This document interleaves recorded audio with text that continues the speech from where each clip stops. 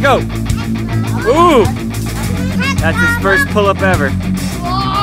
There we go. Good. He's a power animal.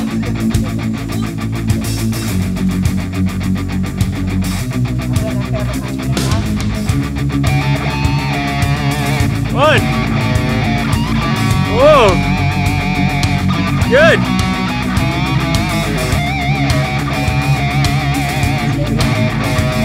Good.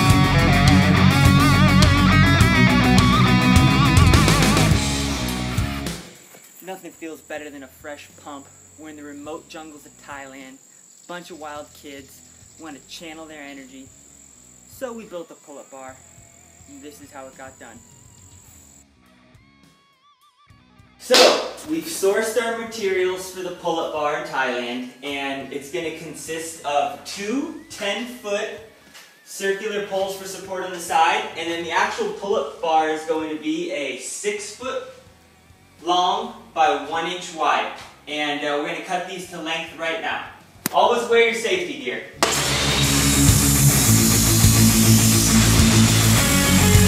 When you have the right tools, it cuts like butter. Folks, we're gonna drill a hole in this big pipe, one inch to fit this, okay? So Larry's lubing up the pipe with some cutting oil.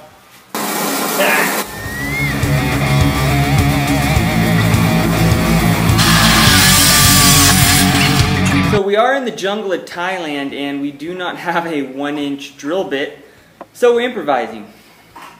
We measured a piece of the pipe.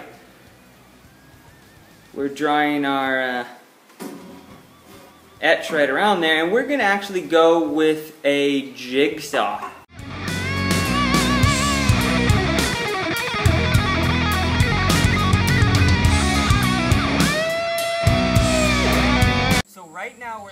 Out the pull-up bar in the exact position we want it to be welded in. Um, we're just gonna get this welder fired up and the rule is here is y'all always measure twice, cut once. Or measure twice, weld once. Because once we weld it, it's going to be in place and we're not going to have time to adjust it after. So we didn't have the right equipment when we were doing the original welding, so we decided to take it to a professional, let him fab it up.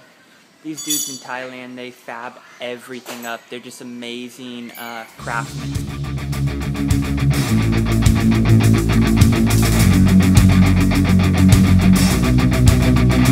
We just got the bar back from the welder. We're grinding out the edges right there. We're just taking down the rough part so uh, nobody slices their hand. And we're gonna put it over here. We're gonna move it over into this hole. We've dug these holes. Right here, these are two and a half, almost three feet deep. We'll place them there, put the concrete. We just put the pull-up bar in the hole and we're getting ready to pour the cement. This brings us to the most important part of making sure the bar is level. As the concrete settles, you periodically have to check to make sure it's on point. As you notice, we're pouring cement in the bars because materials were hard to source and the metal was a little thinner than we would have liked but it came out super strong and happy with the results. Ooh.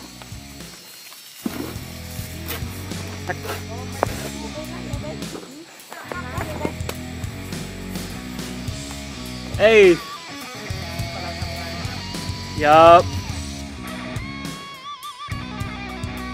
Got really wild. Um, sand, cement spilling everywhere, water's getting everywhere. It's great. I just let the kids take over. They've seen enough building. Just, uh, I just make sure everything's level. And uh, it all works out, man. It's great. I can't wait to see these guys on there tearing it up. Future Barstarzz, the world. Kids went wild. We're just gonna let it soak in there. Keep checking, making sure the angle's good. She's a beauty. We're at the final step. We're gonna spray paint it to protect it from rusting. Remember, your finished job is only as good as your prep. So we sanded and wiped the grease prior to painting. So for this build, it was crucial that the pull-up bar blend in with the surrounding environment. So we decided to paint it jungle green. You could tell it camouflages pretty well with the trees and the grass. So we got the brand new pull-up bar that just got finished and the kids are going bananas. Heck, they could barely even wait till the paint was dry to start climbing on this thing. Woo! This is the first day.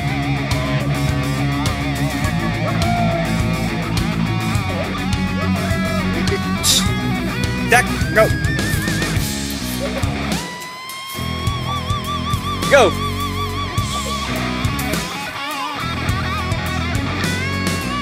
Mmm. Deep!